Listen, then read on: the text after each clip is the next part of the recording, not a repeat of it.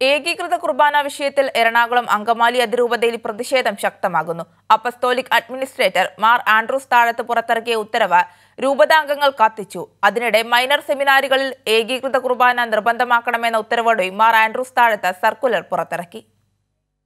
മാസങ്ങളായി അടച്ചിട്ട saint basilica പള്ളിക്ക് മുന്നിലായിരുന്നു അതിരൂപത അൽമായ മുന്നേറ്റത്തിന്റെ നേതൃത്വത്തിലുള്ള പ്രതിഷേധം. ഏകീകൃത കുർബാന നടപ്പാക്കാൻ ആവശ്യപ്പെട്ടുള്ള മാർ ആൻഡ്രൂസ് താഴത്തിന്റെ ഉത്തരവ് വിശ്വാസികൾ കത്തിച്ചു. ചേർത്തല എറണാകുളം അങ്കമാലി എന്നിങ്ങനെ മൂന്ന് സോണുകളിലായി സംഘടിപ്പിച്ച പ്രതിഷേധ സംഗമത്തിലാണ് ഉത്തരവ് കത്തിച്ചത്. ആൻഡ്രോസ് രാജിവെക്കുക. ആൻഡ്രോസ് രാജിവെക്കുക.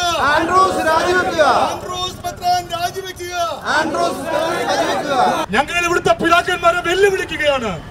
ഏത് തീവ്രവാദികളുമായിട്ടാണ് ഈ അതിരമുതിലെ വൈദികർക്കും വിശ്വാസികൾക്കുമുള്ള ബന്ധമെന്ന് നിങ്ങൾ തെളിയിച്ചാൽ ഞങ്ങൾ നിങ്ങളുടെ മുമ്പിൽ മുട്ടുകുത്തി അടിയറവക്കാൻ ഞങ്ങൾ തയ്യാറാണ്. അല്ലാത്ത പക്ഷം നിങ്ങൾ നിങ്ങളുടെ ഈ തൊപ്പിയും ഈ അരപ്പട്ടിയും ഊരിയെറിഞ്ഞ് സാധാരണ വൈദികരായി തീരാൻ നിങ്ങൾ തയ്യാറുണ്ടോ?